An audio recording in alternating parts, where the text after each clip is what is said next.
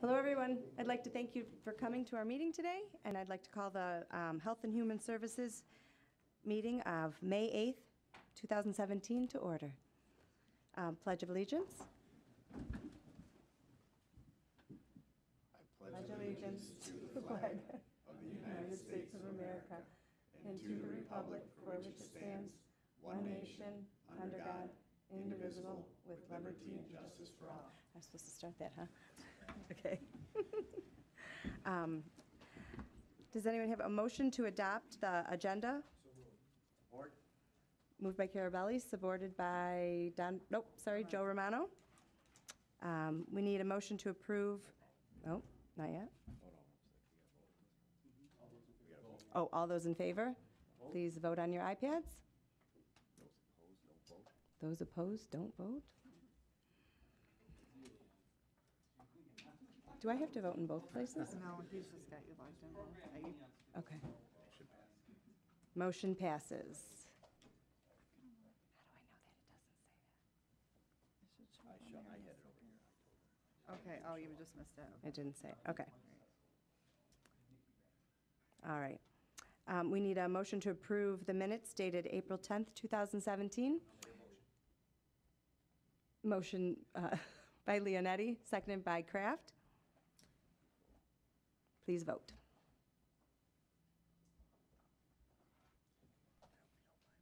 No, I appreciate it. Mm-mm. Um, Agenda, agenda number five, public participation. If anybody would like to participate, you have five minutes to speak, and um, on re- issues related to the agenda. Any public participation? I see none, so we will move on to uh, agenda um, number six. We have a presentation by Martha T. Berry. Um, Kevin Evans, would you like to come up? Thank you.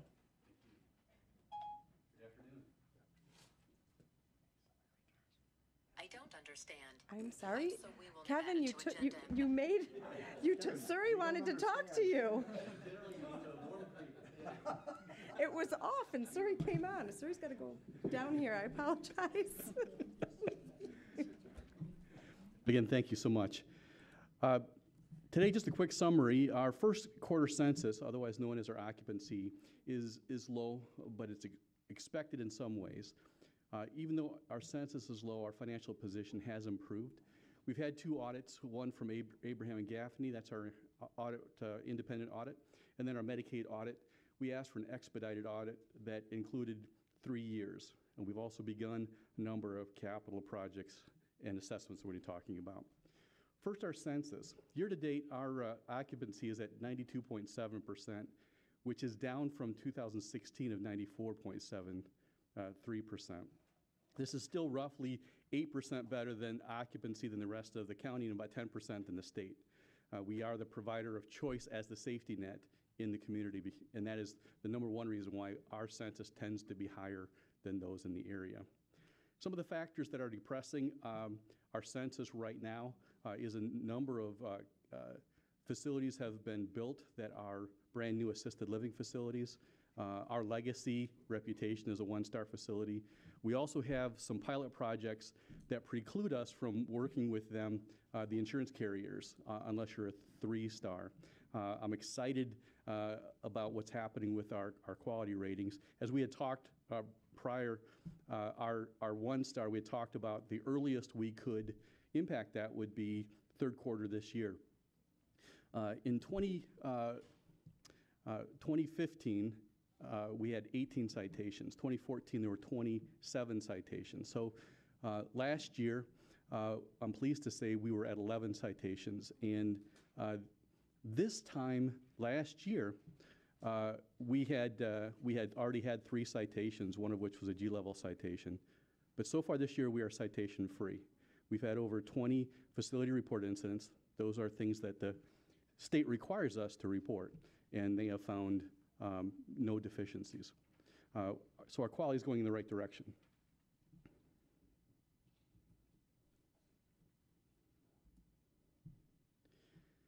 Despite our depressed occupancy, our financial position has improved. Uh, in the first quarter, we launched our electronic medical record system, and we knew that our costs would be higher, so we lost a little bit of money from what we expected to. Uh, We are, however, back to managing our, our, our labor based on census. Our cash position has improved, um, uh, and uh, even though we have our Medicaid audit has come in with some, uh, some negative numbers, we're still going to be in a pretty good position. Now, for those of you that are, are new to long-term care, uh, I had mentioned the audit from the Medicaid system. Uh, each year, uh, we send a cost report in uh, on all of our expenses. There are certain expenses that the state deems allowable and certain expenses that say are non-allowable. Among those, there are some that are in dispute, and depending on how the audit looks at it, they can choose to take some money back or not. The majority of the money that came back were, uh, were based on census days. And uh, on about $60 million, we're looking at about $300,000 that, that, that they're taking back from us. We'll have the final number next week, and I'll present that in this second quarter. But uh, we have additional money that has come in through what is called certified public expenditure uh, that'll easily cover that amount. So we will not be going into the hole based on that, and I'll talk about that in a minute. What I'd like to spend a couple of minutes talking about is our actual finance position. We are, um, we are managed differently than a department that has an allocated budget. We are, are focused on an enterprise system. And this is something that is important for us to note because our revenues and our expenses uh, do fluctuate based upon our census. So if we have more people coming in than expected, we will have more expenses. Now, that is different than a normal department budget that has an allocation uh, that, that requires you to come and get more money to be able to provide more services and vice versa.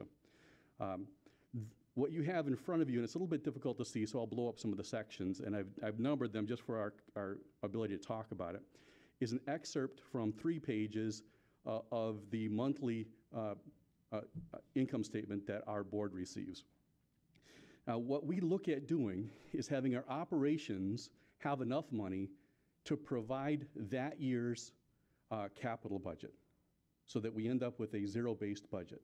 This was something that I was told by, um, uh, by the finance department and by the previous uh, board chair that this commission likes to see. So I'll show that to you right now.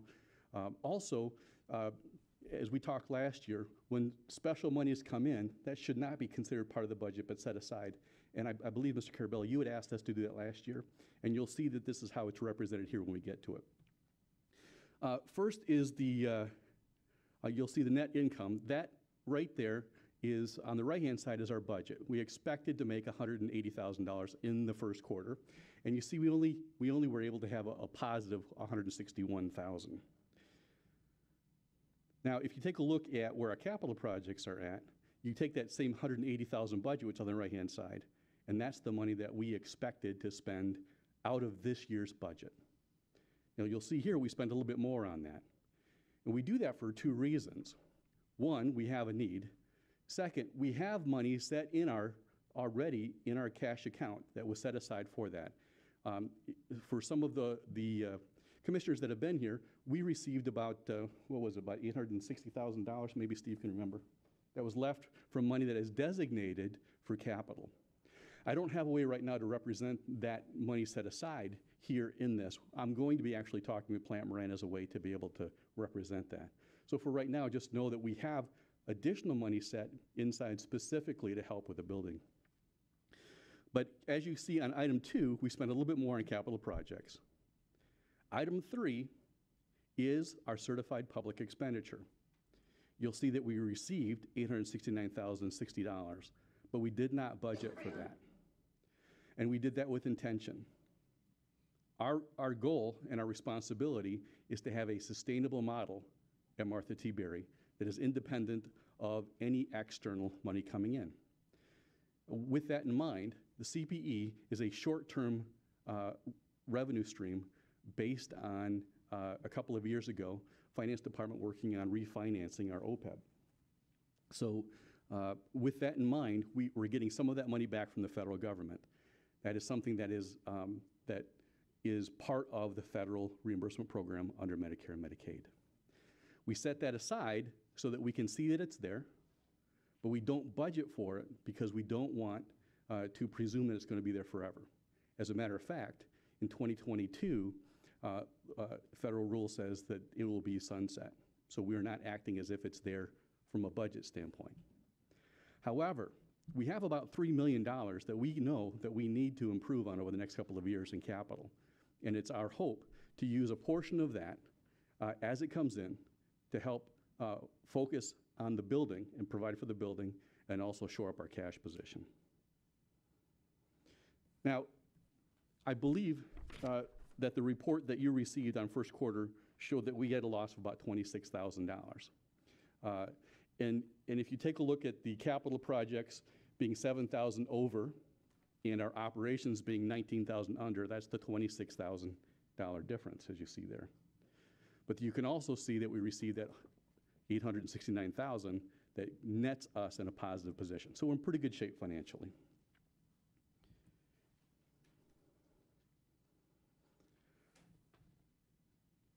And I believe um, last year, uh, Commissioner Klinefelt asked, how long will it take to get us out of a negative net position? This is something else that is different in an enterprise fund versus uh, an allocated budget. We're required to, to represent our long-term liability on our bottom line. Uh, Audited, our net position at- as of 2015 was a negative 11 million. And that is that long-term liability that says if we had to close today, we, we would be 11 million short. Uh, I'm pleased to say that unaudited, we're still headed in the right direction. As you can see on item four, even this year, our year-to-date net position continues to head in the correct uh, direction. Now, recognize that those numbers are getting smaller because a negative big number is worse. All right, so we're hoping to turn that uh, in the next several years over into a positive. Uh, My hope is every year we're looking at knocking at least a half a million off of that negative net position.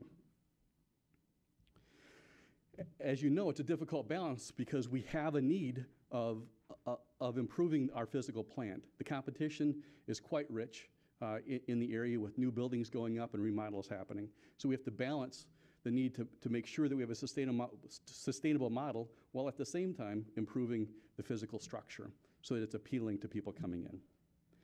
We've begun working with uh, Lynn over at Facilities and Operations, and, and I do want to uh, formally say thank you to her.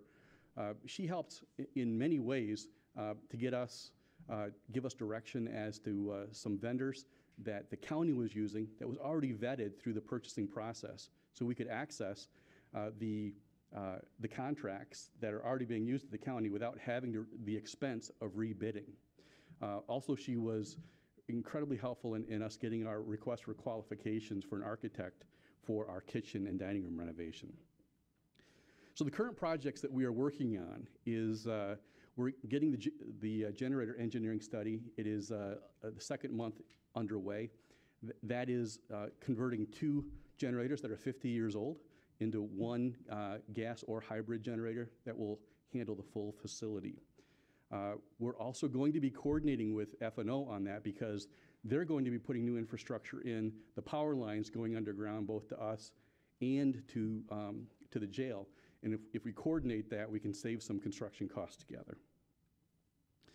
Our door access control, uh, we're able to uh, access, no pun intended, the, um, the county commissioners uh, or the county's uh, uh, contracts on that to allow us to get door access control at a very good rate uh, on the county bids. Our call light system, as I had mentioned in previous meetings, is over 17 years old, and we are going to be, we just received approval from our board uh, to replace that. And then lastly, our kitchen and dining RFQ. Uh, We were able to get the, the, uh, the RFQ on Mitten, and uh, we had 40 uh, vendors look at it. We had walkthroughs on 13 different organizations, and uh, we will be getting their bids next week, and we'll begin opening and evaluating those. Lynn also agreed to give us some overview and help on that as well. That's all I have. Do you have any questions?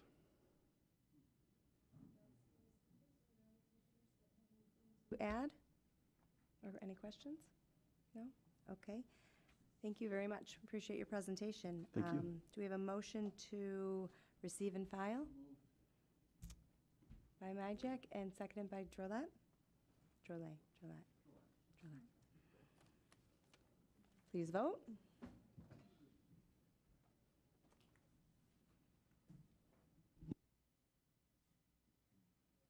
Okay, it's unanimous.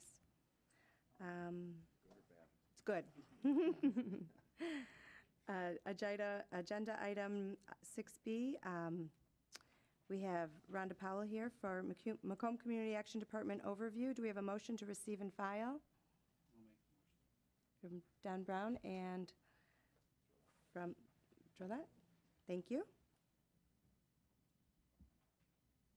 Hi, Rhonda. Thank you for coming.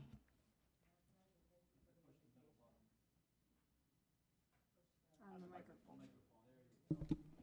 Thank you. Remember to say next, so Michael, you switch. Gotcha, okay, all right. Let's give a minute for the dream team to assemble up here. Um, Thank you so much for the invitation and um, the opportunity to talk a little bit about um, our passion, which is Macomb Community Action. And um, to share, I- I know some of you may have, uh, may be familiar with Macomb Community Action, but it's great to present it again as we have done, uh, just grown by leaps and bounds and um, been doing a lot of great work over the past couple years, so. And I'm not biased at all. Next. That didn't work. Next.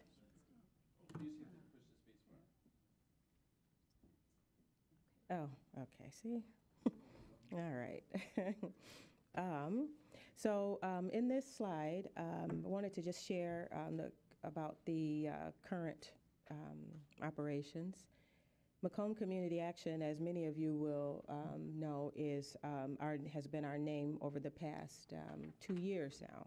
We changed the name on the heels of uh, a pretty expansive strategic planning process that we embarked upon, and really it was a great project because the team really took it on, and um, we took volunteers and victims from all across the agency and um, took an opportunity to um, really look at what we do and how we do it. So currently, um, okay, um, 1964 is when the agency was in- initially established in Macomb County. And today we have three divisions, Community Services, the Office of Senior Services, Children and Family Services, um, which is something new as well. Our budget is approximately 41 million. And um, as demonstrated on the slide, um, a huge chunk of what we do is um, supported by federal dollars. Um, and um, we also appreciate the continued support we receive from this body as well. Currently, we have 294 staff members, but at full capacity, we're about 320 staff. So we um, have some, um, we have some vacancies right now and um, positions that came out of the current budget process as well. And then we just added a little piece there to show um, just exactly how that budget breaks down. Um, We're very proud of the fact, um, I'll put a plug in for Gary, who's here, uh, that we keep our administrative cost under the allowed 10%. So we um, make an effort to do that, or, okay, now I don't know. Next. I just tapped it again. Should I say, "Help me, Mike," or some magic words? All right. Okay, all right. Um, This is just a brief snapshot of our current uh, organizational chart. Um, And we look forward to even having that evolve. With some of the work that we're doing, we want to use more of a Venn diagram in the future to show how programs are related. Um, Divisions can kind of speak to silos, so we, we really want to get away from even those terms. So we are a work in progress. And just a little bit more, um, like I mentioned about the strategic plan that uh, we went, uh, we had in 2015. It really was championed internally. Um, we really are fortunate to have a great deal of subject matter experts across our divisions and throughout the agency. And um, we pulled together to kind of do an in-depth analysis of, you know, what have we done over the years and what has that gotten us? Um, the funders have changed their expectations, and um, certainly the needs in the community have changed dramatically. So we really want to challenge ourselves to make sure we're using our resources to adequately meet those needs in the most efficient way possible. We, uh, as I mentioned, we changed our name. It was formerly McKessa. And um, out of that came um, three strategic goals uh, organizational development, uh, diminish poverty, and promote independence. And that's those areas are really the lens through which we look at everything. So the potential for new programs that um, we have opportunities for, does it do one of these things? So, and our mission, we changed the mission, persistent action to diminish poverty and promote independence. We're very proud of that mission. Um, I do quizzes every once in a while to make sure people can recite it. but um, it says a lot about what we do, and, and we want to be very intentional and deliberate about um, providing a service that um, holds us accountable, holds the people we serve accountable, and um, you know provides impact. We really are shifting our efforts to um, to promote collective impact. So it's not just what we do, but it's the partners that we work with. We, you know, we, you can't be all things to all people. But what we can do is use our position in the community to convene the right groups. There are gaps in service, but we don't need to provide them all.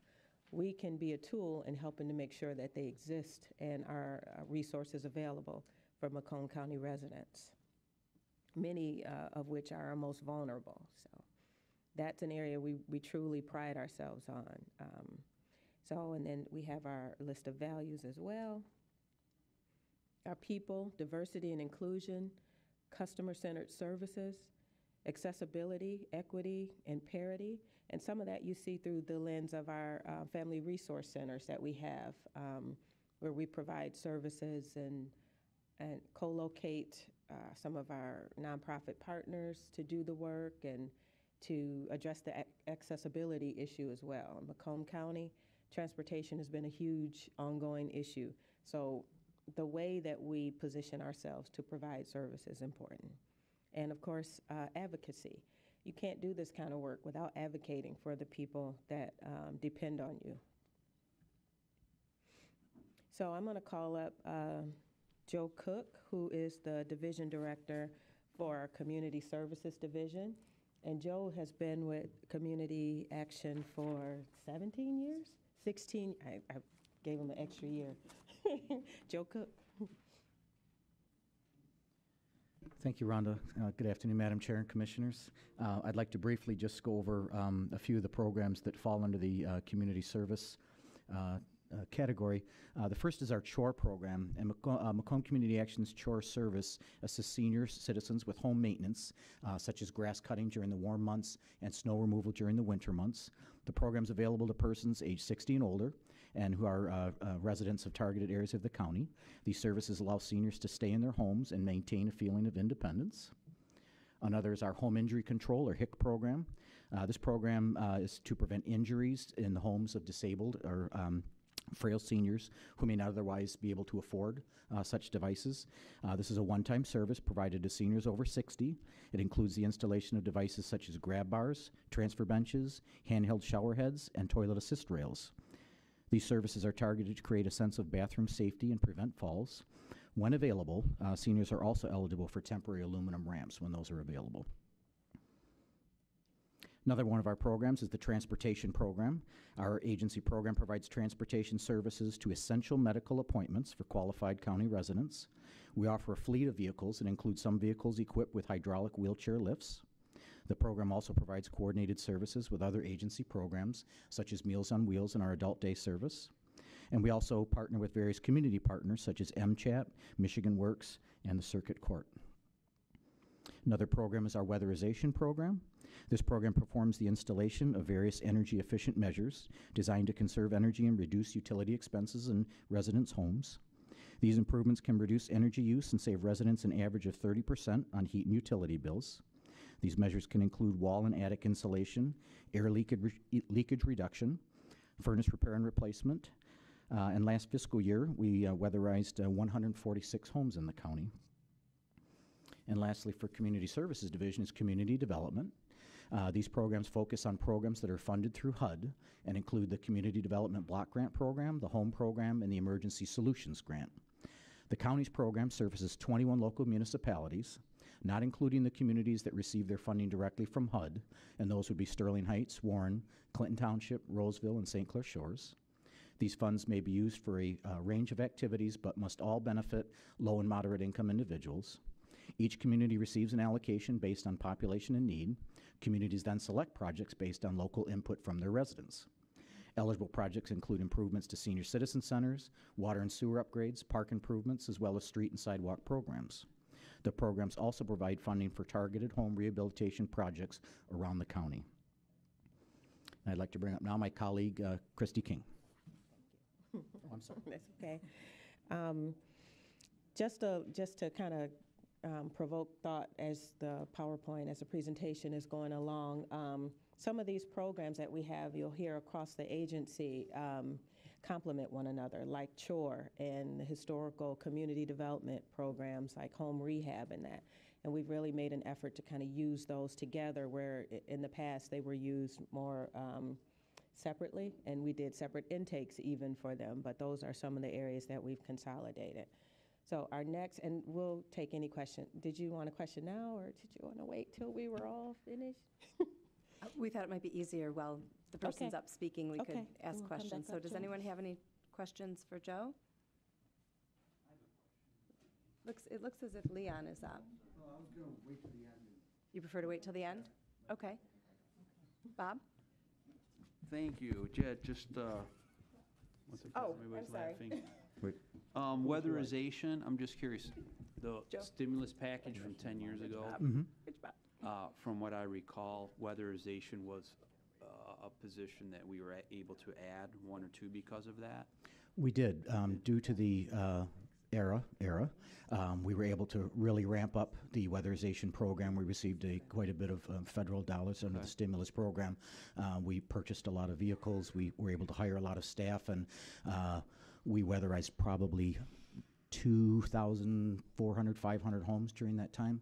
Um, unfortunately, what goes up sometimes comes down, and as quickly as we were able to build it up, we had to, to downsize when those dollars went away. How long ago was, uh, how long did that program last? Uh, it was Of stimulus? 2009 through 2012. So three years, the federal three- government three to four, gave yeah. you more money and now Correct. it went back It went back down to pre, uh, t- pre-existing uh, Okay. uh, amounts. And my question that maybe all of you don't have to answer now, but just looking here that the, fe- uh, your budget's forty-one million, fifty, fifty-six percent from the federal government. Obviously, you're always looking at that over time if they're increasing it or decreasing it. And, um, what's the word out there that, that you guys worried that you're, you're gonna be cut? Uh, and- and Well, for- anything concrete and what are your thoughts on that? Yeah, Thank you, Fortunately, Chair. a lot of uh, our, our programs enjoy a lot of bipartisan support in, in Congress, and, and we've had some, some very good allies on both sides of the aisle. Um, to be honest with you, the budget that was proposed uh, a couple of months ago would, would gut some of these programs, um, but we're, we're confident going into these budget negotiations that we have enough support on both sides of the aisle that we won't see, hopefully, uh, a lot of significant cuts to these programs. La- Last question, Madam Chair. Um, So how much would that equate to the proposal to, to cut some of your department? Uh, Any idea in terms of percentage or numbers here? Uh, Gary might be able to, uh, I mean, it would be I mean, that's a devastating. lot of money. You're, you're- Yeah. you have a big department Yeah. in the federal government. That's a lot of money. So Yeah. we have to be prepared Right. A lot of that these if that programs. happens, what are we going to do? That's, Yeah, a lot of these programs would cease to exist. so, thank you. Yep. Rhonda's got some. Yeah, and one of the things that um, we've done is um, look at creating an essential operations plan um, because we have to have measures in place to, um, to understand how to, i- i- first of all, if there is a shutdown, in a federal government shutdown, that affects us as well. Um, So making sure that we have some measures in place, and we're already, it's one of the reasons why we need to uh, look at how these programs are coordinated with other existing funding sources. So programs that uh, have different, come from different pots of money that might be supported through uh, some CDFIs that um, invest in local programs for community development. We are looking at all those different measures to try to diversify the funds that come in. You're welcome. Okay. Okay, thank you. Okay. Um, Commissioner Smith, you have um, a question for Ms. Mr. Coker Thank you, Madam Chair. Um, Kind of piggybacking on what Rob said, I, th- we're, we're seeing this in uh, the area agency on aging, we're seeing it in the uh, community mental health. And, you know, obviously, you do have to at least be concerned that something like this might happen to your department. And I, w- I would really, I, I know you guys, you just gave a little explanation of what you're doing, but I'd really like to, you know, here, at least maybe, you know, down the line on mm-hmm. what we're doing on the just-in-case side of things, right? Because you always have to anticipate that the worst is going to happen. This is what we would do, or this is kind of how we're mm-hmm. seeing this happen in the future. I just, mm-hmm. excuse me, have seen, i- i- and I don't expect that you are going to do this, but I've seen it where it almost seemed like someone, they put their, their heads in the sand kind of and just said, well, it's not going to affect us. And I just um, would, would love to hear your guys' uh, plan. I don't need to hear it right now, but I, And we can certainly share that. Um, Like I said, one of the things we put in place, I already had the Debbie Downer conversation with our leadership team, but we do unfortunately have to think that way. Mm-hmm. And we have to understand what a worst-case scenario, what that impact would look like. And we're still really going through that process to see, because it not affects only us, um, community action, but what are the other impacts across the county that, you know, and how should we be working together to make sure we're not, you know, duplicating efforts where we could be more impactful working together? Great.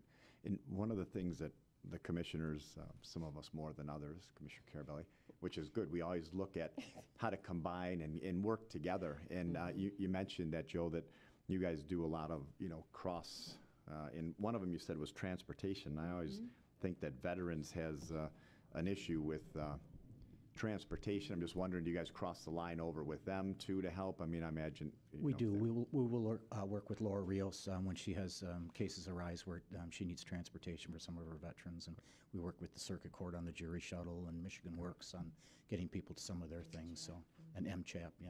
Perfect. Thank you. Thanks. Very good. Commissioner Drolet? Thank you, Madam Chair. Just a couple questions for the gentleman with Senior Services. Uh, The weatherization program, uh, how much, uh, on average, is it per project? You said there was about 146 projects or so. Do you have an idea what that is, what the average expenditure is per project that we help with? Typically, the average per-job cost that we're allowed is about $6,400. 6,400? Yeah, typically, um, we don't get that high. Um, In years past, back in the the 80s and early 90s, when we were doing full-out window replacements and things like that, we found that those type of measures were eating up a lot of that budget. Um, So we try and uh, um, stay away from the bigger items like that, and over the years, the Department of Energy has eliminated some of those measures. So we typically don't get close to that $6,400 amount, and that allows us to weatherize more homes and have a bigger impact. And is it a means-tested program, and what is the, what is the threshold for someone to uh, get some help with that type of a program? It's based on income. Uh, A family um, uh, can apply through one of our community action centers, and uh, they provide uh, their income information, um, home information, whether they're renters or they own the home. Uh, We work with them on that, and then we go out and do a full energy inspection on the home. We run diagnostic testing to see what we can do to tighten up the home, uh, ensuring that we don't over-tighten the home and make it unsafe by being too tight. Uh, We have contractors that are uh, vetted through the county through purchasing uh, that go in and do the work, and then we go back and run those diagnostic tests again to make sure everything is as it should be. Okay, and just last question on this, uh, Madam Chair, thank you. What percentage of folks that uh, request help with this program are you able to help? Is it, uh, you, you know, 20%, 50%, 90%? Of those who want help with that particular program, how many can you actually help? Very rarely do we turn anyone away from, and it would have to be an instance where uh, there's no um, heat or electricity in the home or uh, something like that, big gaping holes in the uh, roof that need to be addressed before we could weatherize the home. Typically, we're, we're far into the 90s uh, as far as percentage of people we're able to help that seek help for the program. What, what happened after the federal stimulus package money ended? Uh, It sounds like you're helping a lot more folks. Uh, do they not request help? How did you find more folks to help if you're already serving 90%? Well, for many years, uh, many years, we ran waiting lists that were, were months and months long just to get an inspection. Uh, the stimulus package helped us catch up on that. Um, we typically don't advertise the program because we have an adequate number of uh, uh, people who apply for it. And one thing about that program is once you're weatherized, we can't weatherize your home again. So there are a full stock of homes in the county that have been weatherized over the years that we'd like to go back because they haven't been done since, I think the cutoff date now is 1993. Anyone prior to that, we can re-weatherize again, but anyone after 1993, we can't go back, unfortunately. Yeah, thanks, that's very helpful. You're Thank you, welcome. Madam Chair. Thank you. Um, Commissioner Leonetti? Thank you, Madam Chair. I I guess this question for Ms. Powell. Um, Hi. Um, Rhonda, please. oh, Okay, Rhonda, no problem. You can call me Rob, too. Um, Oftentimes in uh, my other career as an attorney, I um, I represent some property management companies. And oftentimes I'm uh, on the side of evicting people uh, who aren't paying their rent. And uh, oftentimes those folks, once they get, once they get a judgment, uh, go to Macomb Community Action and uh, work a way to try to come up with the funds in a certain amount of time.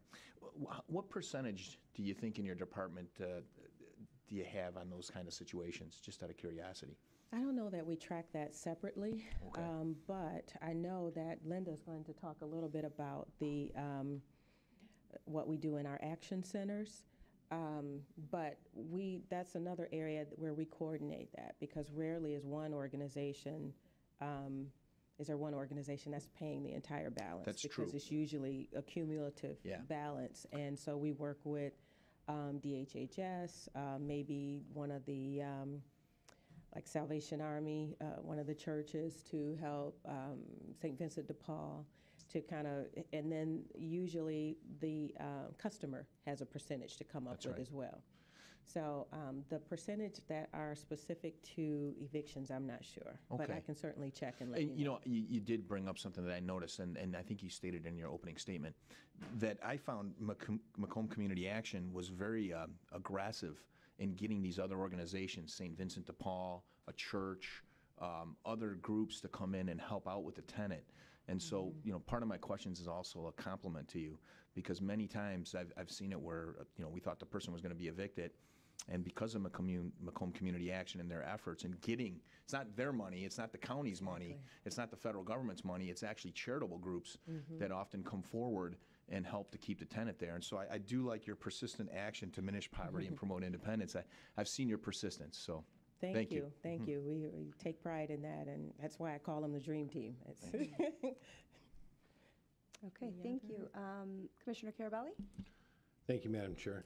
Uh, To go back, uh, Commissioner uh, Drolet mentioned uh, some questions about the weatherization, and I have a few more ab- uh, about that and then the Stop home reading, Joe. rehabilitation. When, when you brought up that the home is inspected before and after, that's an independent inspector, correct? No, that is a county employee. So when a county employee goes out and they're doing the, the uh, reading of uh, the windows if it needs to be done, it's an county, county employee that's going out there and doing, doing the inspections before and after. Correct. And that's covered in the administrative cost? Yes. That's the administrative cost of it. Then the next question is, is these contractors, the current contractors that are working, how long have they been working directly for the county? I would say one of the three main ones has probably been with us for 25 years. Um, two of the remaining, uh, two of the three probably came on right about the time we ramped up with ARRA and have been with us since then, so probably 2008 or so. Okay, so all three contractors have been with the county for quite a period of time, and it's an average of sixty-four hundred dollars per home, is that what you said? That were allowed, yes. And, and, and what was the overall budget for that, uh, again, I apologize? Uh, For the current fiscal year that we are in, uh, for the weatherization program as the Department of Energy portion of it was 653,000. And then another portion that comes out of the LIHEAP block grant was 278,000, so under, under a million. Under a million dollars. Thank you. And so my question is, is that these contractors have been with us for quite a long time. um, And it's just under a million dollars worth of work. And out of the three contractors, is this work divided up equally into thirds, or is this work divided up, you know, one's getting fifty percent, one, the other two are splitting twenty-five percent? Is there a certain mixture on this? One of the things we do when we do an RFQ is gauge capacity. Um, Some contractors are bigger than others. We have a scoring system that we use. Um, Contractors have a certain amount of time that they have to turn jobs back in. If they're not meeting those benchmarks, then work is reallocated to other contractors because we don't feel it's fair to subject the uh, customers to, to long waits and that type of thing. So within your three contractors you had for the last few years, you've taken work from them and given it to one of the other contractors, or has it all been running pretty smoothly? Very rarely do we have to, have we had issues with contractors. I think it's because of the, the relationships we've had with them over the years, and um, they know how the system works. And when we do these RFQs, it's a very small fraternity of contractors that actually bid on these work, and outside of the three that normally do it, there's usually not any others typically that put in for the work. So uh, RFQ, not an RFP, Well, we do RFQs and RFPs. and this isn't per individual, this is per the calendar year, or how is that done? We do it um, biannually on the fiscal year. Our, our program year for this program runs July 1st through June 30th. So you're doing it for that fiscal year, you're going back out, and typically only the three contractors that's been doing it for quite a few years are the only ones that are really doing it? Typically, yes. We advertise it, we put it on MITN, we go through purchasing, we do all of that. Um, During the era, uh, the time, there was a bit more contractors that did it. And uh, um, as the work started to fall off when the, the funding did, um, so did some of the contractors. All right, thank you. Thank you, Madam Chair. Thank you. Any other speakers? No? Okay, do we, um, we had the motion to receive. Oh, I'm so sorry. You're right. I'm so sorry. We have Christy King. Yes, um, so Christy King has been with us for seven months, and um, she we threw her in like we do everyone, She- but she's hit the ground running, and we're very uh, proud of um, what she is accomplishing um, with our seniors, and um, so she will present some of the up and coming things with seniors. Good afternoon. So primarily under our Office of Senior Services, is our Meals on Wheels program, of course. Um, Our largest portion of what we do under seniors are our senior nutrition. And so with that, oh, how about I change the slide? I'm reading, you guys didn't know that. Um, So under Meals on Wheels, we serve about 1,700 meals a day. We deliver about 1,700 with our network of volunteers, about 1,000 volunteers um, in our entire network, including some transportation drivers as well. Um, so we serve about 1,700 meals a day. Um, we are one of the largest chapters here in Michigan. We're proud to say that, so we work pretty hard. In addition to that, we also have our dining senior style, so that's our congregate meals. Um, where our seniors come together at about 22 sites throughout the county and have a meal together. Um, and we serve about three to 400 meals a day on that, give or take. So daily, about 1,900, 2,000 meals a day we have going out for our older adults. So our adult day services, our wonderful program over at the Verkuilen Building, we do welcome you guys to come out and visit. It is a fun day. Um, and so that is our partnership with Martha T. Berry that we're very, very proud of. And it combines the social and medical model together. So it allows us to provide some of that medical care for some of our seniors that come in. Priority is given to those with dementia and Alzheimer's. So it's a very, very structured environment for them. Activities, we provide the meals, which the meals go through our Meals on Wheels program. Um, and everything is supervised, all the activities, they're engaged um, daily. Transportation is provided for some, um, and family members will drop off others that may need the services through the day. So we have about 15 we serve on a daily basis, average give and take, just depending on what the need is. Yes. And our resource advocates. So those are our specialists that actually go out into the homes and meet with seniors um, that may not be able to go out on their own. And so we provide a lot of in-home um, assessments, assessments for our Meals on Wheels, assessments for other programs, um, affordable our Affordable Care Act, tax credits to make sure they're getting their heating credits, um, Medicare, Medicaid assistance when Medicare Part D time comes up in Octoberish. We have appointments where they can come in and or we go into the homes and service them themselves. Um, in addition to connecting them with different partners that we've talked about already throughout the county itself.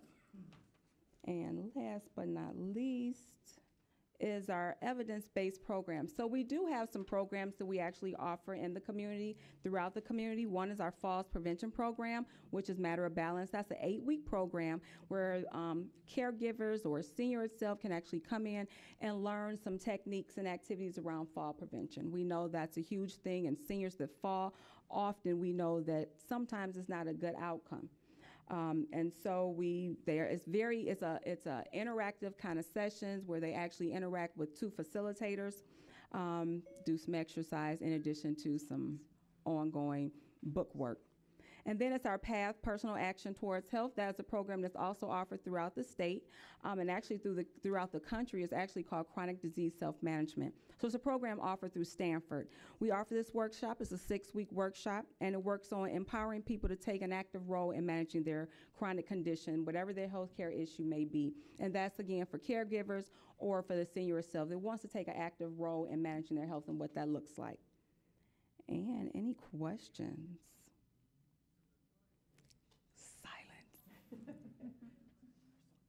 No, sure, that's not it. Commissioners, are there any new questions? Madam Chair, I just want to thank you and the staff for Commissioner taking Mento? time a few weeks ago to meet with me uh, to learn more about uh, Meals on Wheels. Thanks. We thank you. We invite anyone to come out and have conversations with myself or our staff. We invite you guys to come out, pick up a route, volunteer. Um, about an hour out of your day. It's a lot of fun to connect with the seniors and kind of see what's going on and kind of visit what we do over at the Verk Building. Thank you. Thank you, Christy. So our last presenter um, is going to be Linda Azar, who is a familiar face because she um, has been the face of our um, nonprofit arm, the Macomb Food Program. And I thought it was important for you to see the faces that um, represent these programs. And um, often it's not known that uh, the food program is our nonprofit arm. So there are, we have staff that help to support that. And Linda is our primary champion. Also noteworthy is that Linda is now a division director with Macomb Community Action, and she was formerly a program manager, but she's just that phenomenal. So, Linda. Good afternoon. So I'm going to start with speaking a little bit about our community action centers under the new Children and Family Services um, Department. We now have um, the community action centers, which fall under two family resource centers, both in repurposed vacant school buildings, one of which is uh, the Max Thompson Family Resource Center in Warren, and the other being the Macomb County Family Resource Center in Mount Clemens. We also have satellite centers located in New Haven and Romeo. Our Family Resource Center centers assist with um, eligible customers with utility shutoffs, rent and mortgage assistance. We also recently um, opened, with a partnership with the Macomb Food Program, a client choice pantry, and it really lends itself to a grocery style source, store setting where people um, basically get the um, the opportunity to shop for foods that their families actually will consume as opposed to us forcing food upon them, which is very typical of the food pantry setting. So we're really proud of that model. Um, we also accept, we also distribute commodities and focus hope out of that site, which is um, really beneficial because it helps us really stretch the amount of food that families are getting because we receive the food from the USDA to distribute through commodities, whereas the emergency food side is more difficult to maintain because we have to raise funds and do food drives and things of that nature to be able to sustain that part of the distribution. We also um, obviously partner with lots of different organizations in both of those buildings to make it really truly a, um, a resource for, for the community, some of which we have in our centers are the Good Shepherd Coalition, the Macomb Homeless Coalition, the Community Housing Network, and also a partnership with Detroit Arsenal for some youth programming. Next, near and dear to my heart, is the Macomb Food Program, and as Rhonda mentioned, that is our nonprofit arm, our 501c3, which is governed by a board that I work with very closely to ensure that we continue to um, be able to support over 50 pantries throughout Macomb County. We're very unique in that as a food bank, which in essence that's what we are, um, we do not charge any of our community partners that we support with food on a bi-monthly basis for any of the food that they receive, which is very unique. Um, I purchase most of the food that that um, we are able to um, buy it through Gleaners Community Food Bank. We also, within the last few years, partnered with um, Forgotten Harvest, and they are strictly recovery. And what we were finding is they were recovering food in Macomb County, but it didn't always stay in Macomb County. So we met with the team and we decided that we would take on the recoveries of places like Nino Salvaggio and Kroger and some of the other local grocers. We recover that food directly and then we take it to low income senior housing sites and other um, distribution in our mobile type setting. We distributed over 3 million pounds of food to over 220,000 individuals in 2016. That includes commodities, focus hope, and emergency food. We also, if anyone was able to catch the uh, Channel 4 News yesterday, they introduced our new Mobile Fresh, which was an initiative that we were able to um, have basically a grocery store on wheels. And the intention is that we get more healthy foods out into the community, really targeting our seniors and our children who oftentimes are not getting the healthiest food options, especially in the pantry distribution setting.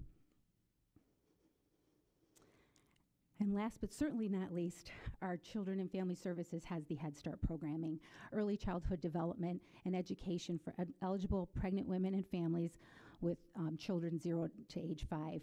We served in Head Start 842 children in 2016, and Early Head Start and our Child Care Partnership served over 180 children. This is comprehensive support services for children and families with evidence based curriculum, wellness services, and individualized education support. We have partnerships with 19 school districts, and we recently added in 1516 East Detroit. Our classrooms are located everywhere from school buildings, early childhood centers, churches, and in home childcare providers. And that's all that I have. Any questions? For, Are these new or old questions? Bob, do you have a recent question? Okay, Commissioner Smith. Thank you, Madam Chair. Thank you for uh, coming here today. I- I- All of your programs are so worthwhile. Uh, I I think any of you who have not been uh, out on a Meals on Wheels uh, run or read at a Head Start program, uh, before you have anything to say about these programs, good or bad, you need to go out there and do that. I mean, the- the- sitting there talking with the teachers at the Head Start program about these kids and what they, um, what they don't have at home and uh, what they get out of this, it- it's, it's, it's just, I mean, it's, it's commendable, you know, to say the least. Um, So that being said, I do have kind of an interesting question for you that I just don't know if, the- the- if you're required to weigh the food or not. How do you come up with 3 million pounds of food? So we, most of the food that we get from the USDA is already pre-weighed. So when we invoice, most of it does have poundage to it. So when I buy um, from Gleaners, for example, I could spend an upwards of $10,000 to do one pantry distribution day. It actually comes with weights on it. Oh, okay. Mhm. Just sounded like Yes, it does. It absolutely does. And we lot of work also have a large million pounds of scale that probably could accommodate seven of us on top of it. It's a large scale that can accommodate totes. So for the letter carriers food drive, Mm. we can actually weigh the food that's um, donated by the, by the public. Great. Thanks. So we do weigh it. I- Great. But don't forget to leave food out this coming. Yes, this Saturday. Will they be coming to the homes on Saturday? Yes, so we partner with the letter carriers, and they will distribute bags and/or postcards to your home, and then you can leave them by your mailbox or your porch, and then volunteers along with the letter carriers pick up that food and take it back to the post offices, and then we have partnered with uh, Teamsters, who actually, in semis, bring the food all back to the warehouse on Saturday, and then we unload it and we start boxing it through volunteers to get back out into the community. Fantastic, thank you. We'll have what? We're gonna have, we're gonna put that on our website Okay, thank you. so that it gets some more hits. Um, A few more people will see it. Uh, Commissioner Drolet? Thank you, Madam Chair. You, you weigh all that food, sounds like a large-scale operation. It was terrible. But, um, a a couple questions for Ms. Powell. Uh, Just, you, on the first slide, you showed that about 25% of the overall budget uh, comes from other sources, which is the- the second biggest uh, source. What are examples of other sources? Well, um, we have more and more dollars that we receive from foundations because we, um, like I mentioned, are doing a much better job of trying to diversify the um, funds that come into the agency from non-governmental sources. Um, We also, um, included in there is our in-kind contributions. And, um, because so much of what we do is volunteer-driven, so that is counted as well. And, um, Gary, who am I, what am I missing? Hello, I'm Gary Cutler. I'm the fiscal person for Macomb Community Action. Roughly $7 million of that 12 million is, is in kind. Um, 5 million of that comes through the, the food program between uh, the commodities Just quick, and. in, in kind, uh, someone donated their services or, do- uh, okay. Well, there, it can be a combination of, ser- of services or actual products. Okay. So, for example, the food would be, the letter carrier's food drive, again, we weigh that food, we put a value to it, we record it on our books as that. We also, a lot of our programs have cost share in them, where, um, for example, the Meals on Wheels, those people make a voluntary donation to pay for part of their meals, so that would be included in those other sources. Uh, But the, the major one is, is the donated. Um, I also record donated uh, volunteer times. In our Head Start program, we're required to have a, almost $2 million of, of non-federal funds, which comes in matches. Um, When Bob mentioned um, people reading in the classroom, we, um, we have, when someone sits on our board, uh, advisory board, some of that time goes in, uh, is valued at, um, um, for our executive board would be va- valued at Rhonda's pay. For our um, policy council, again, because they're decision makers, we value them at program managers' pays.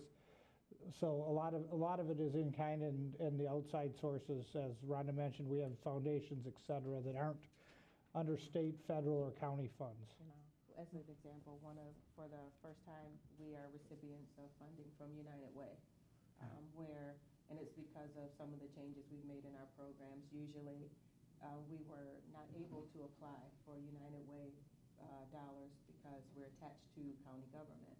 But I think we've made enough, they are, have shifted to more of a com- view of community impact and recognize some of the changes we've made. So we actually now are funding, receive funding from them too.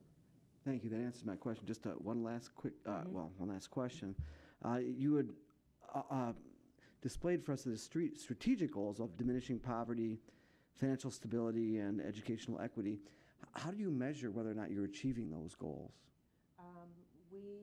Joe could probably bore you for a long time about our ROMA goals, uh, but the, um, we are in the process of taking each program, part of the challenge is each program comes with their own funders um, that we establish in those.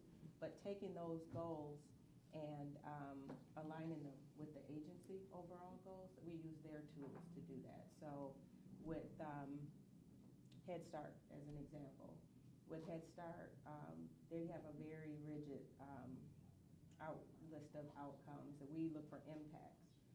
Uh, It's kind of, I don't want to make it too complicated, but um, we use um, the measure, I- and I can get you the formal sheet that would make a lot more uh, sense than my babble, but um, we've aligned our overall agency goals with um, the programmatic goals so that we can track them. All the funders now are looking for the same thing. They're looking for um, those outcome measures. So it's not the same with every program, but all of them have to be tracked. Okay, thank you. Mhm. But I, I could share, you know, the um, individual. Uh, I just know it's always difficult to, to quantify whether or not you're meeting some of these kind of broad goals for any, I mean, uh, obviously, we haven't eliminated poverty, but could be much worse if it wasn't for these programs, and it's really hard to And our quantify. goal really is, is to reduce poverty, so, um, looking at the programs, um, like Head Start is an example that I can use because I'm a product of Macomb County Head Start, you know, so we, we look at not only what the kids, um, have achieved, um, the measures for social development and educational readiness that are part of the Head Start program, but we're also looking at how we can go back in three years and partner with their elementary school to track where they are at those major transitions. So the first one would be when they uh, take their first standardized. So it's, it's not clear cut for each program, but those are some of the things we're attaching to it to get the impact that we're looking for. Thank you. Thank you. And Rhonda and I, that's one thing that you and I talked about, um, was continuing the measure into the elementary school to follow up and see how they were doing. I love that.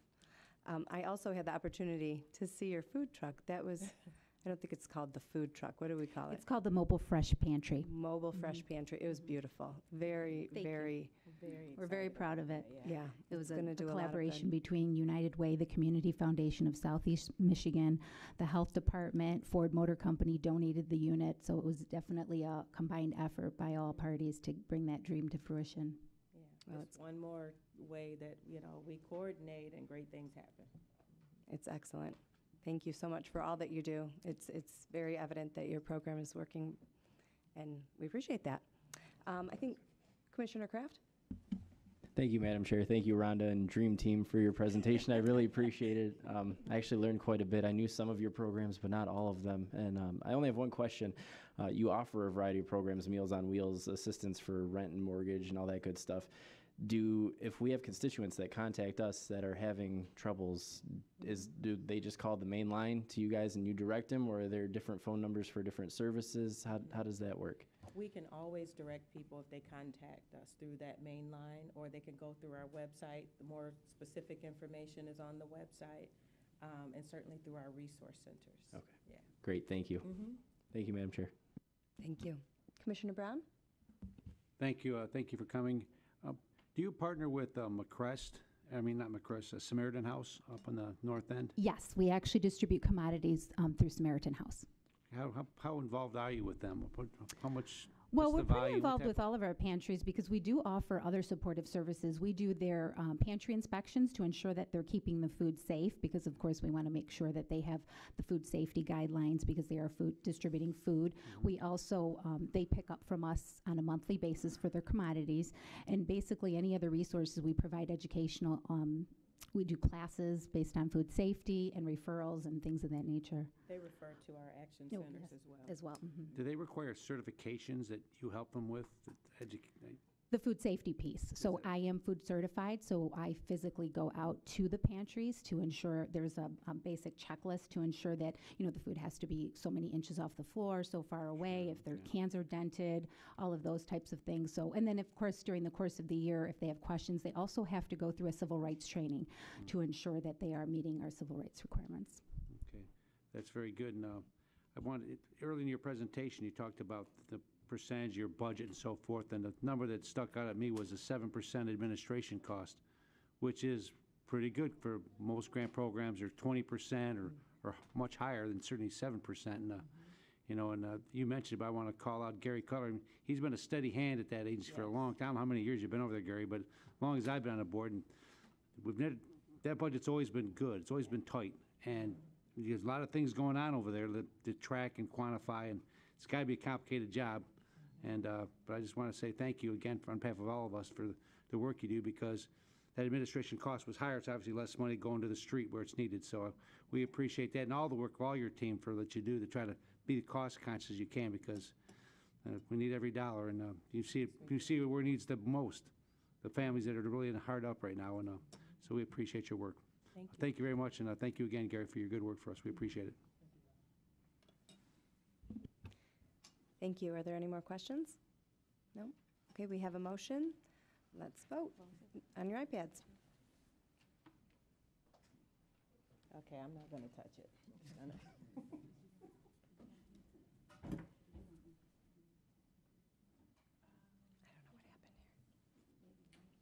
We have one more handout that would be helpful uh, for one of the resource centers that we just did, um, the Thompson Center in Warren, that's just more information that'll help with those. Okay, thank you.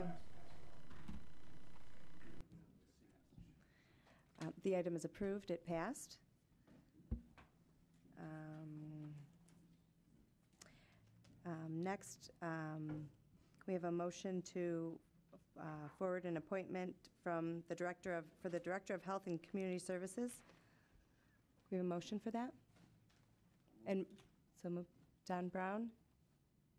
We have a s- support from Joe Romano and Mark Deldin? Sure. Uh, Good Roach? afternoon, Commissioners. Uh, Chair Lucido. Um, Thank you. This is going to be a real easy one for me, and uh, what a wonderful segue um, into this next uh, topic that's before you. Um, As you know, uh, the charter requires that there are a number, a handful of uh, charter-required positions uh, that um, require the confirmation of the Board of Commissioners.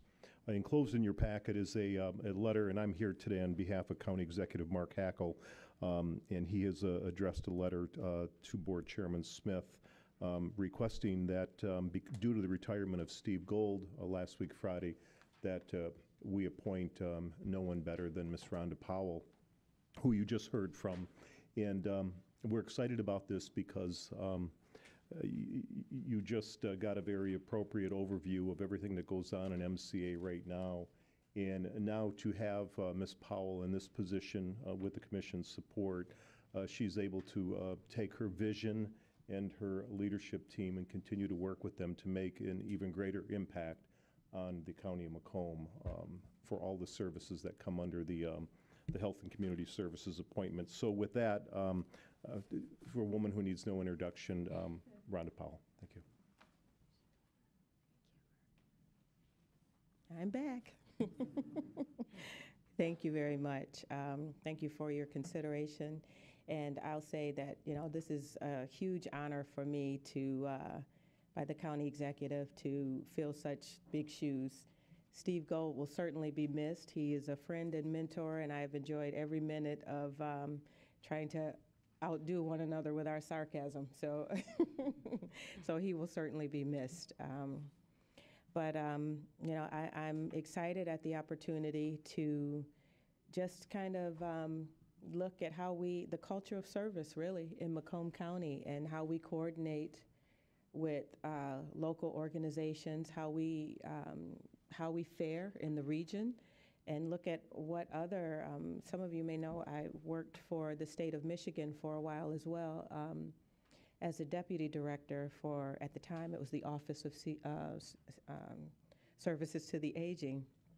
It's a new name now. Um, but um, I hope to bring some of that, uh, some of that networking to Macomb County, continue to do that to see what type of pilots can we, um, you know, champion here in the county to, um, to do better with coordination. And there's been a lot of talk of regionalization and, um, you know, and I'm not for or against, you know, I'm for us being at the table. If, you know, if there are changes to be made, I believe that we want to be at that table. So, um, you know, like I said, the, one of uh, the great accomplishments for me with community action, I'm, I'm extremely passionate about community action. Um, but I'm also passionate about the social determinants of health and uh, healthy communities and uh, the well being of even our most vulnerable residents. Um, we have an aging county, and that's something that I'm very passionate about as well. Um, I think the way that we treat our aging and our children, it says a lot about who we are as a county. And this is the place where I grew up, where I raised my family, and uh, still have relatives all over the county. So, you know, it's, I have a firsthand interest in making sure that what we do is state of the art. Thank you, Rhonda. And I know, as I mentioned, you and I have had the opportunity to speak, and I've been very impressed with what you're doing and, and what's to come. Thank you. I know you do a great job. Thank you. Does anybody have any questions or concerns? Oh, we have a lot. These from last time. Okay. Commissioner Smith? Oh, thank you, Madam Chair. Rhonda, um, though I'd rather not have heard about Steve's retirement and your Right. appointment through the Macomb Daily, uh, I, sorry. You stood me I up. am- I You am stood very, me up for uh, lunch.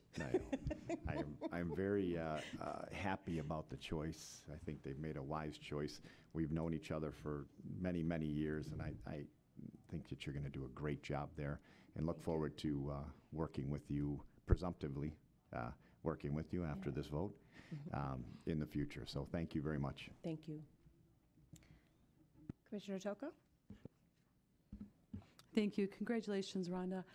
What does this do to your position now? I mean, that creates a vacancy in Mhm. your position. Yes. Uh, So What- one of my priorities will be to try to uh, find a replacement and, um, you know, uh, work with our HR to um, get someone else in and, um, you know, get a, get a viable list of candidates that we can interview to fill that position. But I really plan to ensure, we've done so much work in community action, and it, it- we really have to make sure we maintain that momentum. It's extremely important. Yes. So you'll step up right away into Steve's position, or will your position be filled first? Um, Well, uh, presumptively, um, after the full board confirmation, then I really would um, be in a dual role and um, would work with um, the executive's office to kind of um, bridge both of those. Um, But I would continue to support Macomb Community Action in the, uh, in this capacity until a replacement is found. Okay, that was my question. Thank you very much. Commissioner Klinefelt. Thank you, Chair. Um, On the same lines, uh, you and I were just discussing an issue that I need to follow up with you. And um, I have a phone number in front of me, but I don't know if that phone number is going to be good and for how long it's going to be good to get a hold of you. You'll be able to reach me because um, we, Wonder Woman works for us, who's here, Karen, and she'll make sure to- that, uh, even if I'm not at that office. But I, I plan to be in the same, at the same desk for a while. Okay, thank you. Mhm. Thank you. Thank you. I believe that's all. Any other questions? No? Okay, thank you. Thank And we you. look forward to what's to come. Thank you very Very much. good. Um, We have a motion, so let's vote on our iPads, please. And thank you, um, Deputy County Executive Deldin. Thank you.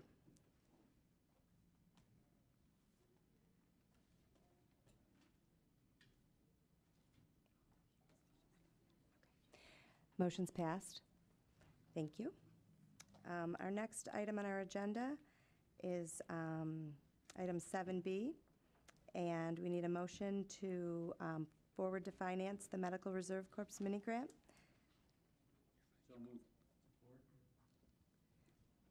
Commissioner Brown and Commissioner Romano.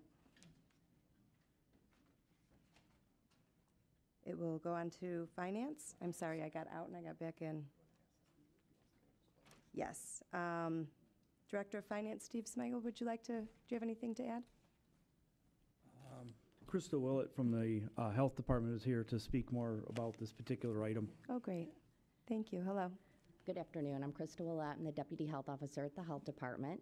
And um, I am just here seeking approval of the amendment to accept the $6,000 grant. And this mini grant will allow us to expand our capacity to receive volunteers in the event of a public health emergency. Any questions? Do we have any more questions? Okay, thank you. thank you. Let's Vote on our iPads.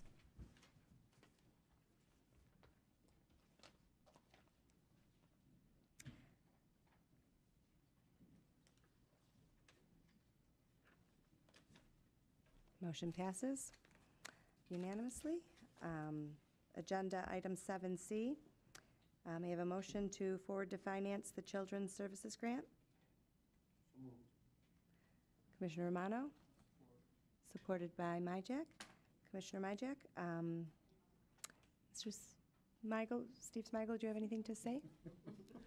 Come on Very up. similar comment. So Gary Cutler from Community Action will talk about the next three items. Thank you. Thank you. Um, This, this award here for the $239,000 that can be found on page 28 of your packet is just additional funds that is coming in for our Early Head Start Child Care Partnership Award. Um, You'll see the, the new award on page 30 and the previous award on page 32. The difference between what we were originally awarded for this fiscal year and our current award is the $239,693. So we're just asking that, um, that the board approves the increase of our budget and the amount of expenditures and revenues equally. Okay. Um, Can we amend that and put them all together?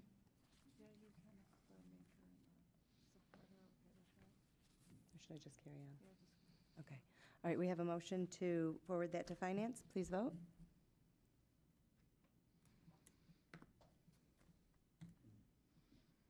Can I combine the next two? keep going? Okay. All right. um, Motion passes. Um, Can we have a motion to forward to Finance Macomb Ac- Community Action Budget Amendment? Commissioner Romano? Support from Commissioner Leonetti? Um, Mr. Smigiel, do you have anything you'd like to add? Oh, I'm sorry.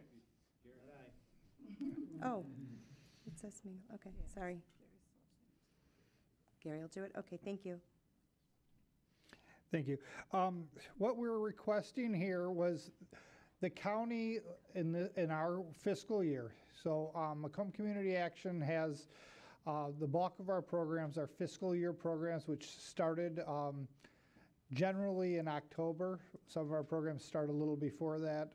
Um, But for the programs that started in this budget year and our fiscal year, we had budgeted a 2% general increase for county employees. Um, The HR department negotiated a lump sum payment and a 1% pay, which was approved by this Board of Commissioners. The difference in that budget is the $288,000. So we are asking that the Board of Commissioners approves a allocation from general fund of an additional $288,510 to make up the difference between the amount of money that was paid in the lump sum and 1% of pay of our employees. Again, we budgeted, based on the county's recommendation, a 2% increase in people's pay. The people got a one, our staff, including myself, got a 1% pay plus lump sums. And you'll see the calculations in your worksheet, but that's what this request is for. Okay. Are there any questions, commissioners? Commissioner Carabelli? Thank you, Madam Chair. I, I apologize. Go through that one more time, the difference. Okay. You budgeted for the 1%? We, we budgeted for 2%. The county gave employees lump sum payments and 1%. So the difference that I did here, um, you'll see the calculation on page 36 of your sheet. I took the, the lump sum that was paid to our employees and the variable fringes that went with that, and also took what a 1% pay increase was for our staff, and the difference between those two is what equals the $288,000 for Macomb Community Action staff. Okay, Madam Chair, if I can continue.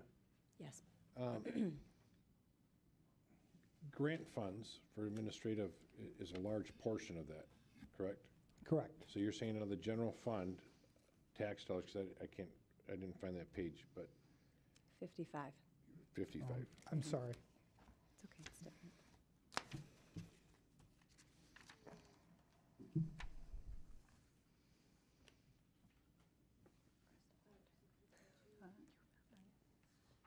I guess my question is, what difference is made up with the actual, not general fund dollars, but your either federal or state grant dollars or matching fund dollars that covers that 288? Um, Our, the, the budgets that I submitted to all of our grant funders included a 2% pay increase. So if we do not get this money from the board, we will be, ha- we'll have to reduce services by $288,510 across the board. I apologize, let me, let me rephrase that. Um, The way I understand, you get X amount of dollars for a grant, and then you're Mhm. allowed to take administratively to pay for the employee to do that work, correct? Yep. With that raise of that employee, one percent plus the bonus, um, that doesn't cover the difference? Why would it come out of the general fund? Now, I understand certain positions that are general fund hundred percent solely funded, but is this, you're saying across the the entire thing? Well, some of those positions are grant funded, are they not? Yes, most of our positions are grant funded. The, the, this is, if, if those grants pay for this additional benefit or pay that the employees got, the reduction of services to the clients of Macomb County will be reduced dollar for dollar. I, I- okay, so what you're saying is that you're not gonna take it from the grant, you're gonna take it out of the general fund instead of taking it from the grant? All right, somebody needs to help explain this to me. I- Th- th- This isn't a, d- the, the grant, okay, let's, let's just make it simple that I'm the only employee in the grant. Yes, sir. Instead of getting a two percent pay raise, I got a one percent pay raise plus twenty-one hundred dollars. That twenty-one hundred dollars exceeds one percent of my pay. So if the grant was designed to pay for me for a whole year, it would be two thousand dollars short of having the money to pay for my services for the full year. Right. Then 1%, because they are getting the 1%.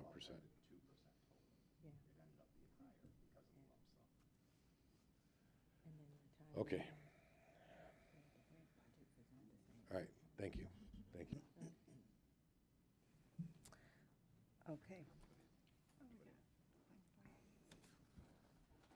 Um, Commissioner Klinefelt? Thank you. Um, Just regarding that very quickly, is during the budget process, um, was that something that was just missed in the calculations going in? No, the, the contracts were not settled until Okay, subsequent to the what I was bud- wondering was So, the but we timing of it. anticipated this happening though because. Because it didn't happen in every single department, so it was just a, an Correct, oversight or a miss right. in this particular Exa- area. Well, and because the Macomb Because- Community Actions year end starts on October first, these payments were made in Okay. December. So we anticipated this, and if you remember, there were some short-term additional costs to providing those lump sum payments, but the long-term, the long-range impact of that lump sum payment versus across-the-board increases in each of the three years of the contract, I forgot the exact number, but it was a very significant amount of savings for the county. Right, right, and I knew that. I just was wondering the Correct. timing of the vote and if that's what affected this. And, and I'm, and I don't know why it didn't affect all departments equally, but um, I figured the timing had something to do with it. Okay, thank you, Chair. Okay, thank you. Commissioner Smith? Thanks. So I, I just want to understand this right, and this is kind of for Commissioner Carabelli. So you were, let's just say you're the only employee and you were slated to get a two percent raise and that was going to be two thousand dollars. But instead you only got a one percent raise plus a lump sum, so you got one thousand dollars, but the lump sum was maybe like fourteen hundred. So you actually, we're actually having to pay you more than we would have with the two percent raise, right? So Correct. We're, we're, we're behind. And then this is, uh, this is budgeted for? I mean, is this something that's, how, how does this affect our, the general fund, Steve? That's, that's my only question. I'm, sorry, we're, we're, we're a little behind, uh, on the, uh, Th- This will draw down on the fund balance of, for Mm-hmm. two hundred and eighty-eight thousand in two thousand seventeen. But again, long-term. no, I understand that. I So, just Didn't know, but we did not, this isn't, this was we didn't budget for it because we weren't sure where the contracts were Right. going to land. Okay, and that being said, they probably landed this way because it did, even though it affected the budget this year. Correct. It was gonna affect it in a positive way down the line. Right, exactly. That's fine, thank you. Okay, thank you. Um, Any other questions or comments for our first round? Second round, Commissioner Thank you, Carabelli? Madam Chair. Uh, Steve, come up again for a minute. And this, uh, this contract uh, with these races was a, how many year? The three-year contract, one percent, one percent, one percent. Okay. Um, So going forward, we shouldn't have a problem with these next three years of any adjustments, or s- this was a one-time deal with, The one time, yeah, we have another lump sum payment in seventeen, at the end of this year, for a thousand dollars as opposed to twenty-one hundred last year. And then zero lump sum in two thousand nineteen. But again, we were projecting, uh, two percent across the board for seventeen, one and a half every year going forward, so so this budget adjustment right now is for which year? two thousand seventeen. Okay, then you just said there was another one at the end of 17? We will have a thousand dollar lump sum payment in December of seventeen, which we, which for community action will affect their two thousand eighteen budget, so we'll build that in this budget cycle. So you'll be all set in the next. Exactly, and we already built that into the, the general fund, because it's the, a December year end. Okay, thank you. Any more questions? From commissioners? No? Okay, we have a motion. Let's vote on our iPads.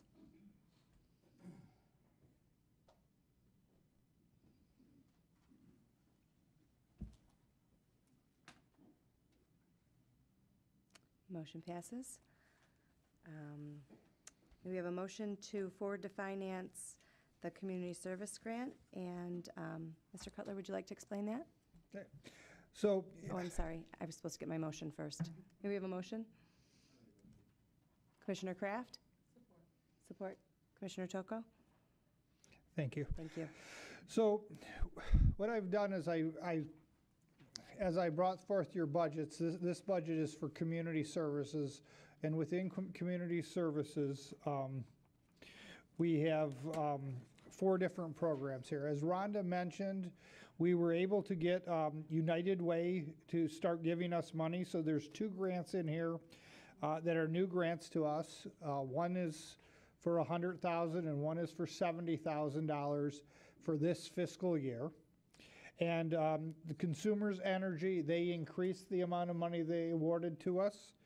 That's um, the third increase. And we also had our SSVF program, which was discontinued. Um, we are a subrecipient through Community Action Partnership in Washington, D.C.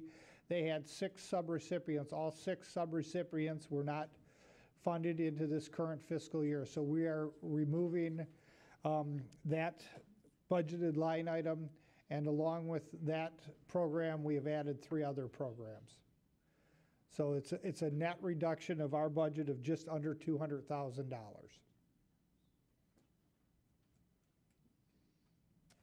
Okay, are there any questions? I see no questions. Um, Let's vote on our iPads.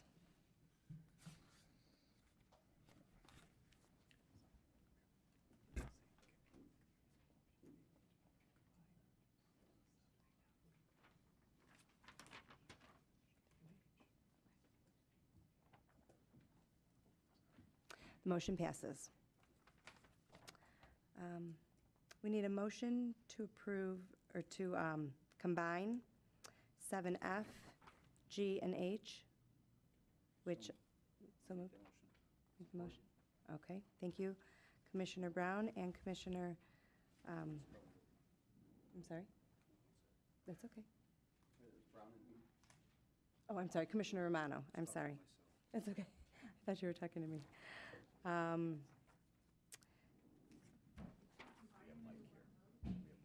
Right, I know, I'm just, so we've combined F, G, and H. Um, Michael Hudson from Animal Control is here. I'm going to introduce the topic. Okay, thank you. Uh, Good afternoon, uh, once again. So um, before you all start with the uh, City of Eastpointe, uh, contained in your packet is uh, the county's standard um, boilerplate um, agreement for Macomb County Animal Control Services. These are the same agreements that we bring to the board annually uh, for um, their animal control division or workers to use our shelter and their specified fees listed in here. So uh, this is what's considered an intergovernmental agreement, and by charter, it must come before the uh, Board of Commissioners for approval. It has already been approved and signed by City Manager uh, of Eastpointe and forwarded to my attention, which uh, we sent to yours. So I'll start with that one. If there's any questions, be happy to I'll be happy to answer any of them. Otherwise, I'll move on to the City of Roseville. Do we have any questions? Commissioner Carabelli? Thank you, Madam Chair. This is the. um, I apologize, no questions on this one. No questions? No? Okay, how about um, 7G on the Roseville Roseville Animal Control Service. So Services? City of Roseville, uh, what you have here is, um, uh, the City of Roseville have, has asked the Macomb County Animal Control um, Division to take over their entire operation. So it's my understanding they, for several years now, they've employed one full-time animal control worker, and now they want us to take care of that for them. Uh, We did this uh, just recently, maybe three years ago, in the city of St. Clair Shores, where we took over their animal control services uh, in its entirety. Uh, We have reached agreement. The agreement before you tonight is, looks uh, uh, quite a bit different uh, than the one for Eastpointe. East Point just wants services. Uh, City of Roseville wants us to take over their entire operation. Uh, There's a corresponding budget amendment, and uh, if you want um, um, explanation on that, uh, Steve Smigiel can do that for you. Uh, But uh, we're real, real excited, and uh, they're extremely excited to, to work with us. And the model out in St. Clair Shores has worked extremely well. And um, we have, we have fine-tuned these agreements. And, you know, we said a couple of years ago that as more communities uh, possibly want us to take over their animal control services, um, uh, we're probably going to get some uh, economies of scale and we'll get more efficient um, as we go. Just to note, um, East Detroit did not ask us to take over their entire um, animal control uh, division, just they want to use our shelter for services. So, uh, With that, um, I'll open it up to any questions relative to the agreements or the arrangement, the money. Hit, 'em- hit any of them. Ahead, Commissioner To a point Klinefelt? of order, I mean, I think there was a motion in support to combine everything, and I mm-hmm. don't think there was ever a, a vote. Motion to forward? No, no, there was a motion to combine all three items. Mm-hmm. And once that motion took place, number one, I didn't know which button to press because I don't know what's on your screen. Okay. And number two, that motion never passed. So a- as we sit here, there's either three separate votes or we need to cast that first motion. And then once we cast that, mm-hmm. then I would assume we would request to speak on the Eastpointe one with, reg- without regard to whichever one we want to speak on. Does that make sense to everybody? Mm-hmm. Madam Chair, being that this motion is on the floor to combine all three, I think it's appro- it is appropriate to go ahead and discuss all three because you're not taking the vote as of yet. So you're open for discussion, and during that discussion, all three things can be discussed. And if you object to that, you can vote no on that motion, and then the motion would either pass or fail. But, but Yes. don't we have to first actually vote to combine them? Just cast the vote to combine them. Once we've done that, then we, then we know, we'll just use these Point one to request to speak. There's a motion to Point of order, she forward. was, she's right, actually, we should, shouldn't even combine them all, they should all be taken separately, to be honest with you, that's probably the best way to do it. Okay. But I kinda thought, but, you know, so, let's just take them individually and be done, we heard the presentation, just go one through, one at a time. Okay, so do we, Because they're each separate subject, they probably, sh- technically shouldn't have been He's combined to res- begin with. He, but he made the motion, right, he's rescinding. all right, do I have anyone that would like to withdraw the motion I to combine them? Okay, Commissioner Brown, seconded by Commissioner Romano. I thought they were all the So same we'll go part, back and same vote. subject. Thank you. We'll go back and take a motion for the F. Eastpointe Animal Control, which is 7F. Motion to forward that to finance. Motion by um, Commissioner Leonetti, seconded by Drolet. Let's, we've already discussed it. Do you have another question on Eastpointe? Okay, Commissioner, sorry, Carabelli first.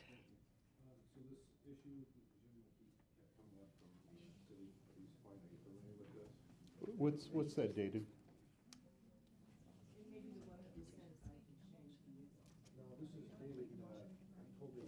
Yeah, it's, it's a moot, it's a moot point, and it's a moot point, and I prefer not to even uh, discuss it. Yes, it's a moot point. Okay. Any other questions? Commissioner Drolet? Thank you, Madam Chair.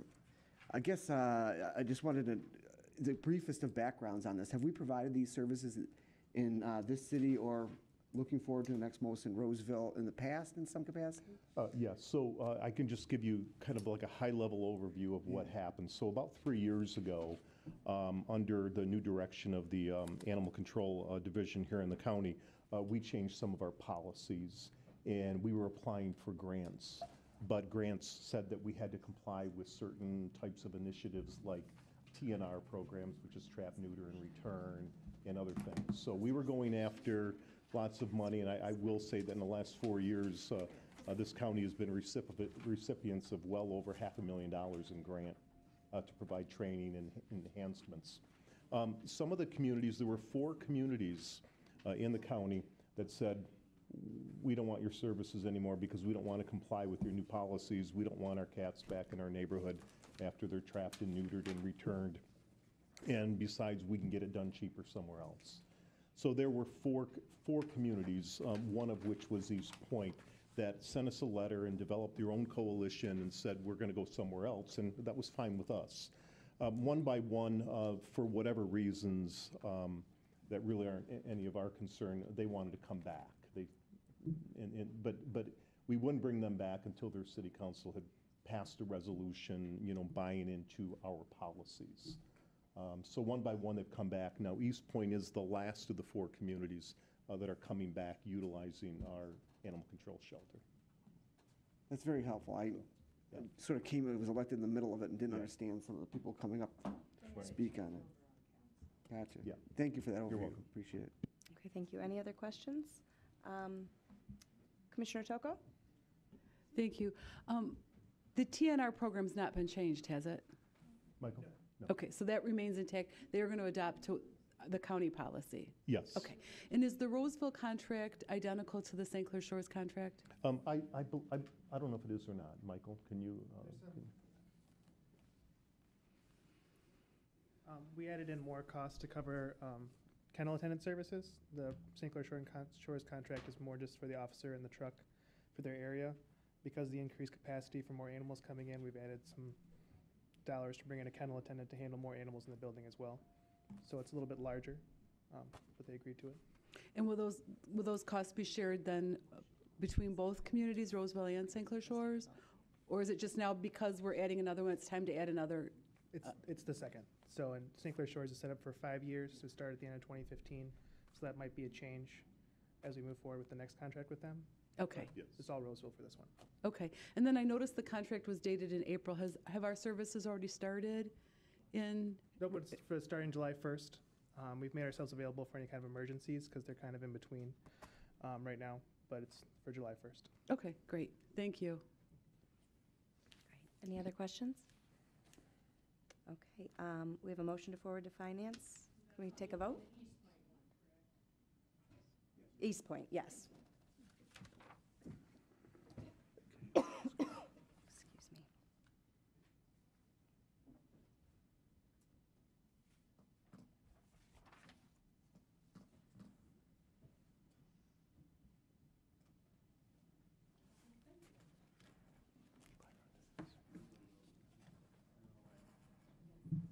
Motion passes. Motion passes. Um, We need a motion to separately forward the, um, to finance the Roseville Animal Control Services? Uh, It's hard. Tocco and Leonetti? Commissioners Tocco and Leonetti? Um, I'm sorry. All set? You already spoke on Roseville, so can we, does an- does anyone have any additional questions on Roseville? Commissioner Klinefelt? That's okay. Um, Thank you. Just very briefly, okay, so the, um, the first one is, is the actual contract, and then the second one is the budget amendment following it. Correct. So the first one, it's got um, an amount of 28,000 in revenue for licensing in the city, and the second one is 14. Is that because it's for half a year? Yes. Okay. And then the licensing, will that actually take place within the city of Roseville, or will that take place um, through Macomb County? Okay, so the contract refers to, um, on number six, uh, uh, where it says therefore it is agreed upon, number six, refers to um, Exhibit A with regard to payments. Is the budget paper that you gave, um, that's two pages later, is that Exhibit A? Or do, that is Exhibit A, so that would be the exhibit that the, that Roseville received? Okay, so I, just looking at that out of curiosity, um, I was having a hard time reading it. Um, why does the, uh, why are the 2017 totals um, n- not changing significantly to add those, to add positions or, um, I'm, I'm not seeing a change in, a, like in, uh, like vehicle didn't change. Is this all just, it can't just all be Roseville because it's got like 579,000 for 2018 in salaries, so that's not just Roseville. Do you Right, so understand? what we're doing is we're allocating, so we're gonna have, we have to add one animal control officer, which will bring the total to seven.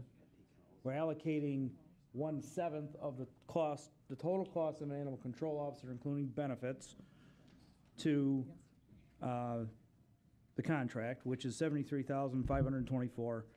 We have to add one animal, or kennel attendant. So we're allocating the total cost of all kennel attendants to the city based on their percentage of total intakes for the year. Okay, so we don't have broken down in this document those, what you're adding, right? So, so the 297 that we have for animal control, that's for all the animal control, that's not just for Roseville's portion, correct? Right, Roseville's portion is seventy-three thousand five hundred and twenty-four. And. Way down at the bottom. Okay. Because we're, al- we're adding up the total cost and then allocating their proportionate share. Okay, I got it. Yep. Okay, thank you, thank you, Chair. Okay. Any further questions on the Roseville amendment? Okay, we can take a vote on that.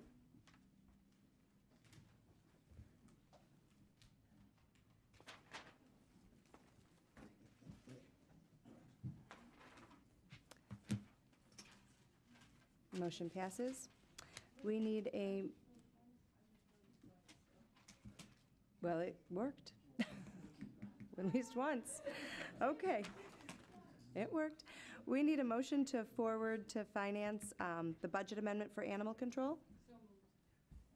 Motion made by Commissioner Tocco, support? Supported by Commissioner Smith? Any discussion on this?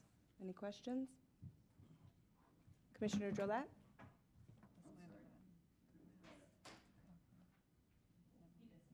No. Okay, I have a couple other people up here. Does anyone have any questions? No? I think this was from the last one. Okay, let's take a vote.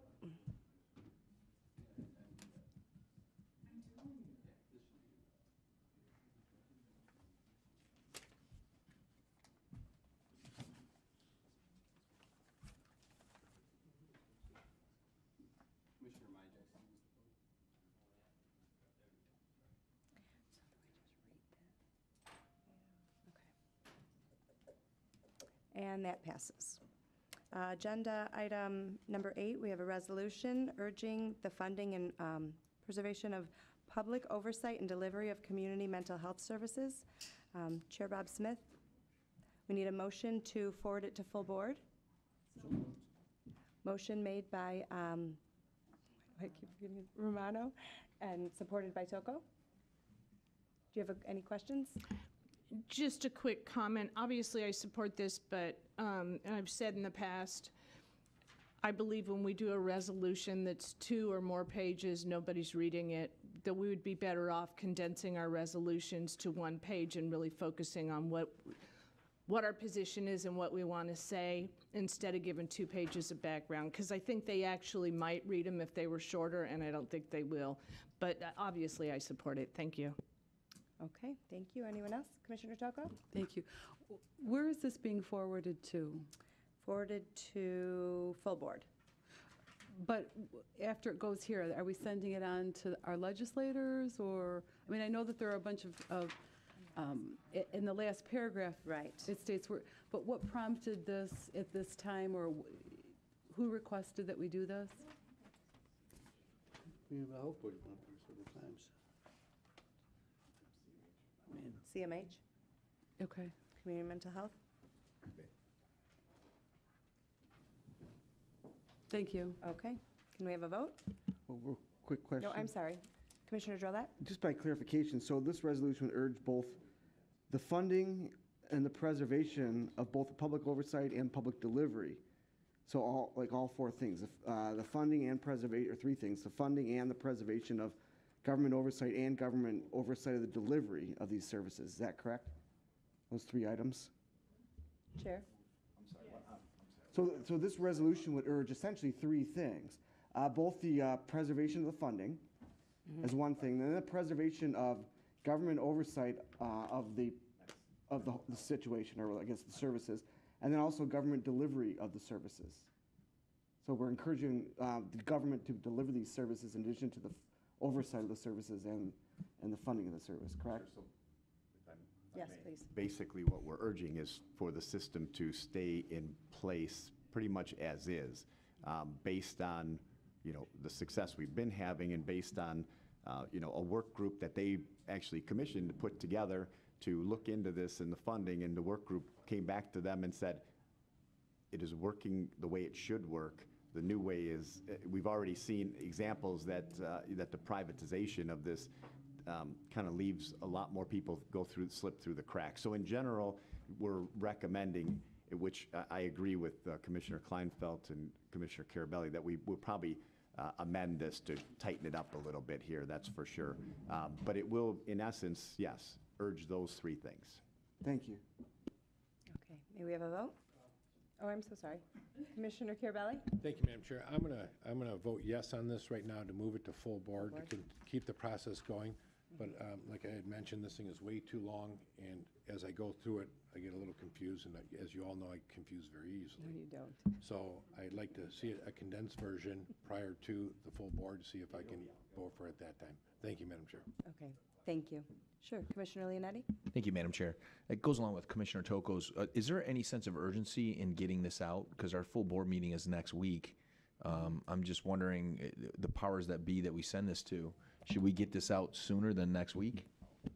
I Commissioner guess I can Kraft? speak to that. Thank you, Madam Chair. Um, it's budget season right now at the Capitol, and it looks like it'll be mid to end end of June when they finalize it, if all goes well. Um, I know that they are working on CMH from both sides, the Senate and the House. They both have different ideas. Um, some, I think the Senate side has multiple pilot programs, and the House has one, or vice versa. But uh, we're working on different options. So I, I guess the urgency of this would be to have it done by the next full board meeting and get it out because the budget talks are happening now, work groups are happening now. So, thank you, Madam Chair. Thank you, Madam Chair. I, I guess I would urge that we, if we're going to do a condensed version or three different versions of it, that we do it quickly and get it out to us so that by next week, going along with what Commissioner Kraft says, we get it over to the powers that be Absolutely. promptly. Thank you. Thank you, Madam Chair. Agreed. Thank you. Anybody else? Commissioner Brown? You know, I agree generally about the sh- shorter and brief is better. However, that resolution contains a lot of information that maybe the, maybe the legislators don't have the time to read it, but their staffs will, and they'll look at that information. There's a lot of policy things there that make a difference, that matter about the issue they're discussing. Now, they may not have the time to read it, but their staffs probably will take a look at that. It's important to include the reasons why we've got an argument to be made. And there are many good points in that, those whereases, though there are many of them, certainly uh, add to the case of support our position. So I, um, in this case, I don't think that we should be cutting out too many of those because they're relevant to what we're talking about. And uh, so that's my two cents. Thank you. Okay, thank you. Uh, May we have a vote?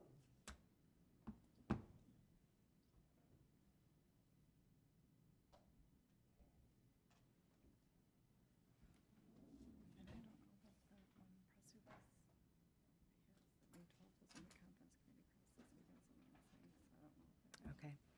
Um, May we combine the course, oh, I'm sorry, motion passes, it's gone. Um, Okay. Okay, can, um, we need a motion to receive and file our correspondence. Can we do that in its entirety? Okay, thank you. Motion made by uh, Commissioner Klinefelt. Support? Commissioner Romano? Let's vote. Any questions? No? Okay.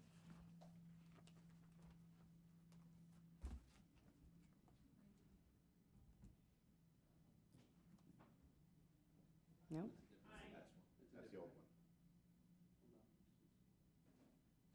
That's it, right?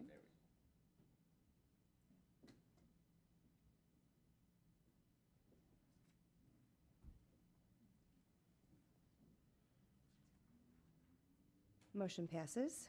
Um, Agenda item number 10, new business. Any new business from commissioners? Commissioner, I'm sorry, Chair Smith? Uh, Just a quick note that uh, been a long day. the jail study is going to be on Thursday's presentation, so I just want to urge all of you to plan for uh, maybe a little longer meeting than normal. That's it. Okay, thank you. And that's our new business. We don't need a vote for that, do we? No, okay. Any public participation? We have a packed house out there. Seeing none, um, we need a motion to adjourn. So moved, Commissioner Ri- Romano. Support by Commissioner Drolet. Thank you. Oh, I'm sorry, we need a vote. All in favor? All in favor?